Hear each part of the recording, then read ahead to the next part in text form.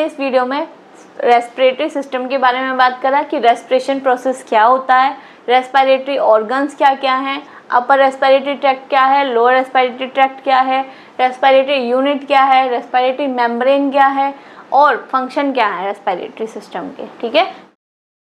Hello friends welcome back to my YouTube channel Varsha nursing classes आज का हमारा topic है रेस्पिरेटरी सिस्टम ठीक है? तो सबसे पहले क्या पढ़ेंगे हम? रेस्पिरेशन ठीक है? रेस्पिरेशन क्या है? रेस्पिरेशन हम सबको पता है कि भाई हम जो सांस लेते हैं और सांस छोड़ते हैं, उसको हम रेस्पिरेशन बोलते हैं। अब सांस ले रहे हैं मतलब हम ऑक्सीजन क्या कर रहे हैं? अंदर ले रहे हैं और CO2 मतलब कार्बन डाइऑक्साइड को हम छोड़ रहे हैं। इसी प्रोसेस को हम क्या बोलते हैं? रेस्पिरेशन बोलते हैं, ठीक है? तो वही चीज़ बोलिए रेस्पिरेशन क्या है? प्रोसेस है by which oxygen is taken in मतलब ऑक्सीजन को हम अंदर लेते हैं and carbon dioxide given out और कार्बन डाइऑक्साइड मतलब CO2 क्या है? उसको हम बाहर छोड़ रहे हैं।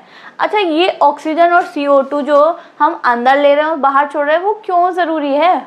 मतलब इसके बिना क्या हमारा काम सकता है क्या? मतलब क्यों ज़रूरी है ऑक्सीजन अंदर लेना और CO2 बाहर छोड़ना? हमारी बॉडी में ऑक्सीजन क्यों ज़रूरी है? सबसे पहली चीज़ तो ऑक्सीजन नहीं होगी तो हमारी जो बॉडी है, वो एक्टिविटी नहीं करेगी, ठीक है? हमारी बॉडी को एनर्जी की ज़रूरत पड़ती है, ठीक है? कोई भी काम करने के लिए हमें एनर्जी लगती है। वो एनर्जी कहाँ से आएगी? जब तक हमारी सेल्स या टिश्यूज़ तक ऑक्सीजन नहीं पहुँचेगी, ठीक है? अब जब हम एक्टिविटी कर लेते हैं या उस एनर्जी का यूज़ कर लेते हैं तो जो वेस्ट मटेरियल है, जो CO2 है, उसको बाहर निकाल देते हैं, ठीक है? तो इसी प्रोसेस को हम क्या बोलते हैं? रेस्पिरेशन ये किसके थ्रू होता है? लंग्स के थ्रू ठीक है? तो ये जो प्रोसेस होता है, ये किसके थ्रू होता है? रेस्पिरेटरी सिस्टम के थ्रू तो वही चीज़ आज हम इसमें डिटेल से पढ़ेंगे। ठीक? रेस्पिरेटरी रेट जो नॉर्मल रेस्पिरेटरी रेट है मतलब एक मिनट में एक नॉर्मल एडल्ट कितनी ब्रीथ ले सकता है? बारह से सोलह ब्रीथ ले सकता है। प्रेगनेंट लेडीज़ होती है, उनके अंदर जो फीटस है, ठीक है? वो अंदर तो सांस नहीं लेता, ठीक है? क्यों? क्योंकि उसके लंग्स जो है इतने मैच्योर नहीं हो पा, हो पाते हैं। तो वो उस टाइम किससे लेता है? प्लेसेंटा के थ्रू से मतलब जो रेस्पिरेशन है, वो करता है, ठीक? जैसे ही बच्चे की डिलीवरी होती है तो जो फ़र्स्ट क्राई करता है बच्चा, उस टाइम पे अपनी रेस्पिरेशन शुरू करता है क्लियर अब टाइप्स ऑफ़ रेस्पिरेशन रेस्पिरेशन कितने टाइप्स के होते हैं? दो टाइप्स के रेस्पिरेशन होते हैं, ठीक है? एक होता है एक्सटर्नल रेस्पिरेशन एक होता है इंटरनल रेस्पिरेशन एक्सटर्नल का मतलब क्या है? एक तो हमने सांस अंदर ली, ठीक है?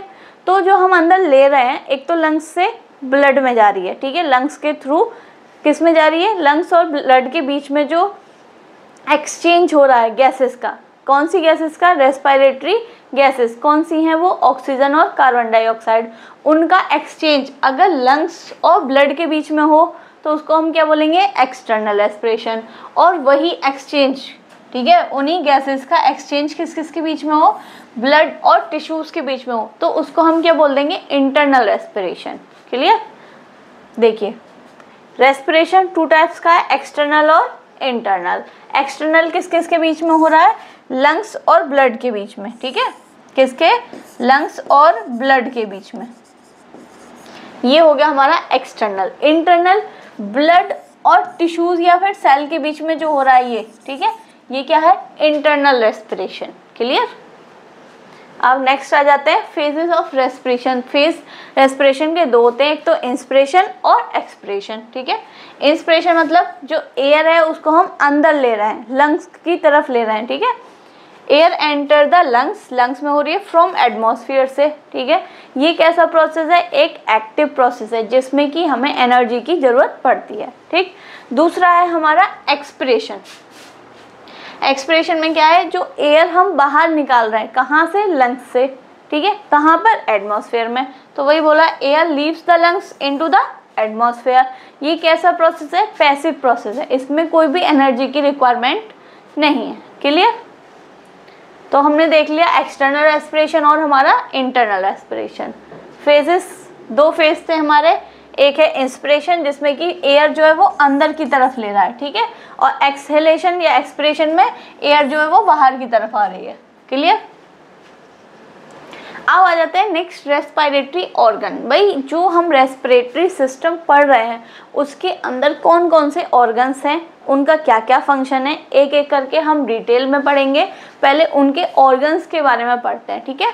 अब इसमें भी दो टाइप्स हैं। एक है अपर रेस्पिरेटरी और एक है लोअर रेस्पायरेटरी मतलब जो अपर साइड में हो, ठीक है? ऊपर की तरफ़ हो रेस्पायरेटरी ट्रैक्ट मतलब एक रास्ता, ठीक है?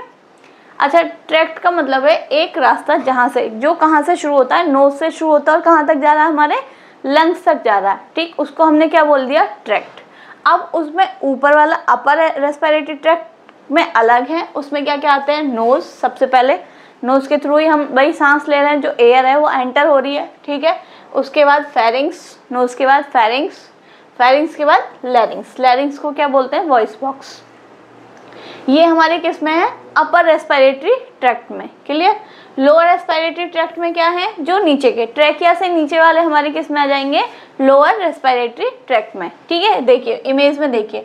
ये क्या है? अपर रेस्पिरेटरी ट्रैक्ट कहाँ से स्टार्ट है? नेजल कैविटी या फिर हम इसी को क्या बोल सकते हैं? नोज़ ठीक है? फिर हमारे क्या जाते हैं? फेरिंग्स ये हमारा नोज़ है। ये क्या है? हमारा फेरिंग्स है। इसके बाद क्या है? लैरिंग्स ये हमारा किसमें आ रहा है? अपर रेस्पिरेटरी ट्रैक्ट में। अब इसके बाद ट्रैकिया से शुरू हो जाते हैं। लोअर रेस्पिरेटरी ट्रैक्ट ठीक है? लोअर में कौन कौन से हैं? ट्रैकिया हो गई।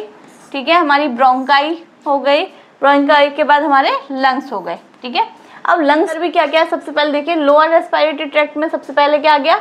ट्रैकिया ट्रैकिया के बाद टू ब्रोंकाई, जो कि ये दो उसमें वो हो रही हैं। ये राइट वाले में राइट में और लेफ़्ट वाले में लेफ़्ट में, ठीक है?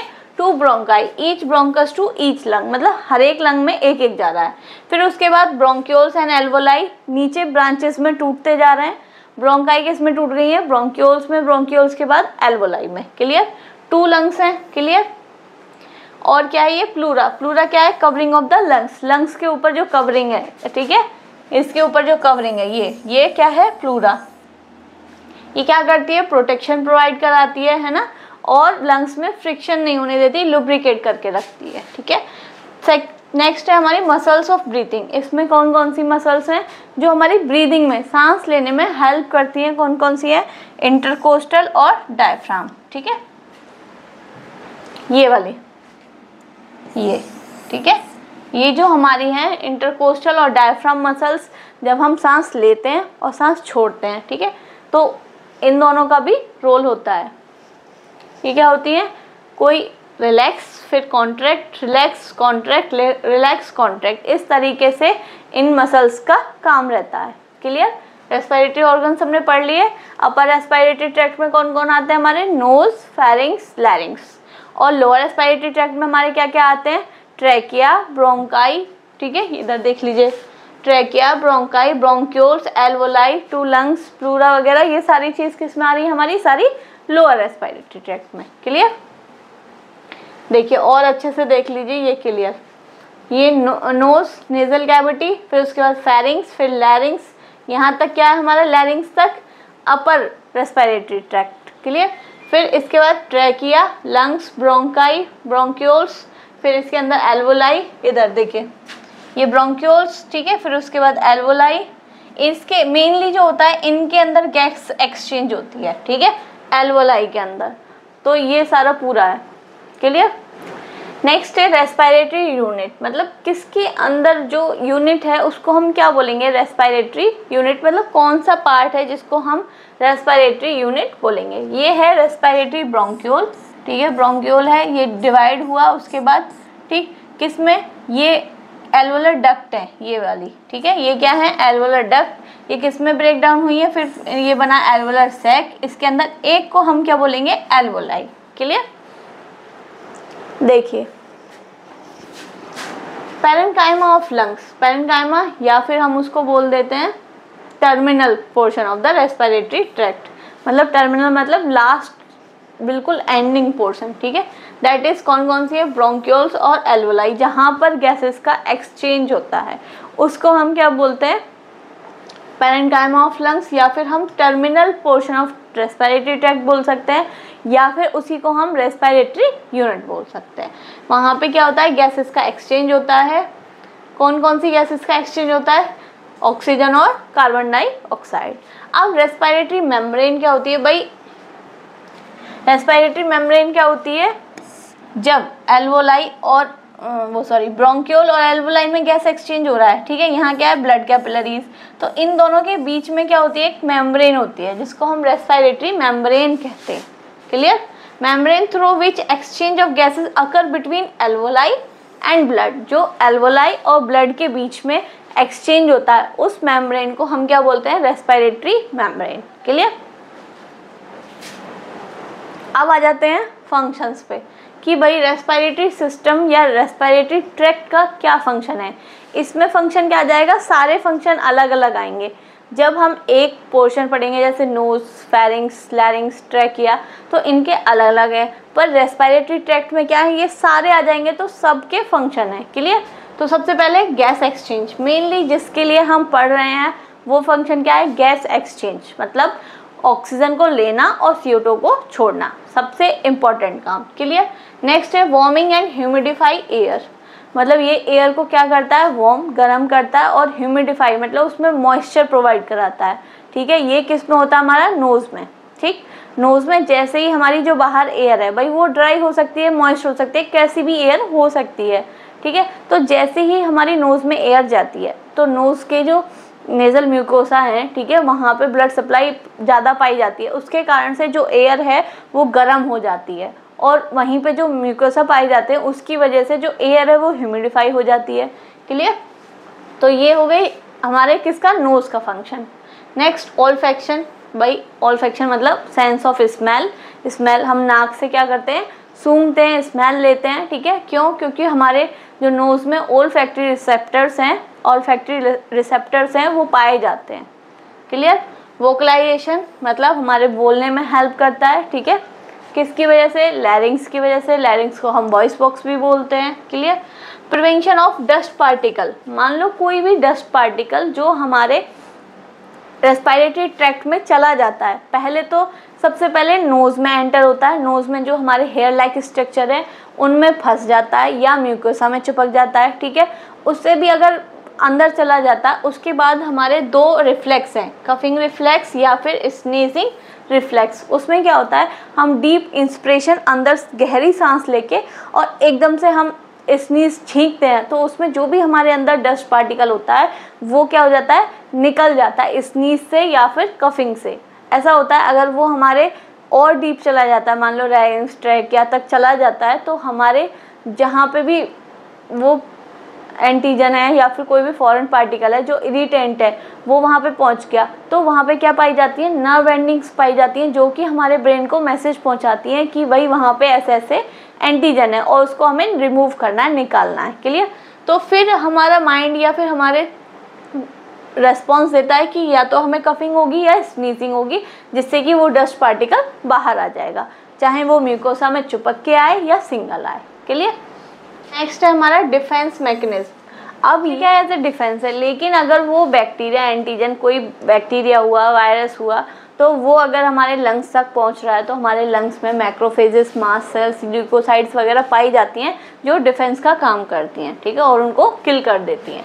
नेक्स्ट है maintenance of water balance water balance जब हम ऑक्सीजन लेते हैं और सी छोड़ते हैं तो सी के साथ साथ कुछ वाटर भी जो वाटर का अमाउंट है, उसको भी हम थोड़ा सा रिलीज़ करते हैं, जिससे कि बॉडी में हमारा वाटर का बैलेंस बना रहे, ठीक है?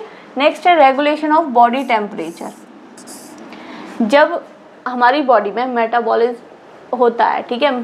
तो जब रिएक्शंस होती हैं, जैसे हमने खाना खाया, उसका ऑक्सीडेशन होता है तो उसमें हीट भी प्रोड्यूस होती है, ठीक है? हीट प्रोड्यूस होने के बाद कुछ सी के साथ साथ जो हीट है वो रिलीज़ हो जाती है एक्सेल हो जाती है, ठीक है? तो उससे भी हमारा जो बॉडी टेम्परेचर है वो मेंटेन रहता है, ठीक?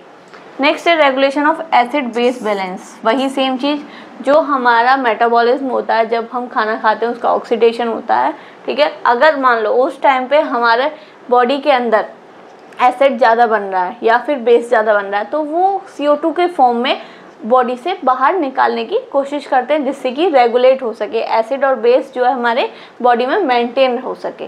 क्लियर हमारा स्वेलोइंग या डिग्लिटेशन रिफ्लेक्स इसमें क्या होता है? जब हम खाना खा रहे होते हैं तो उस टाइम के लिए थोड़ी देर के लिए हमारा जो रेस्परेशन है वो रुक जाता है स्टॉप हो जाता है। क्लियर आज हमने इस वीडियो में रेस्पिरेटरी सिस्टम के बारे में बात करा कि रेस्परेशन प्रोसेस क्या होता है रेस्पिरेटरी ऑर्गन्स क्या क्या हैं अपर रेस्पिरेटरी ट्रैक्ट क्या है लोअर रेस्पायरेटरी ट्रैक्ट क्या है रेस्पिरेटरी यूनिट क्या है रेस्पिरेटरी मेम्ब्रेन क्या है और फ़ंक्शन क्या है रेस्पायरेटरी सिस्टम के, ठीक है?